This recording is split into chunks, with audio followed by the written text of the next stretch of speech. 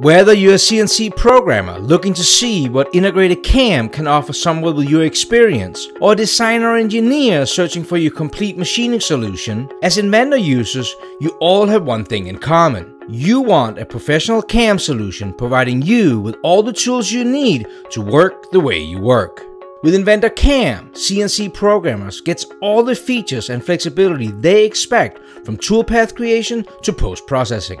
Inventor CAM allow Inventor users to create toolpath with powerful technology such as 3D adaptive clearing and the industry's most complete package of finishing toolpaths.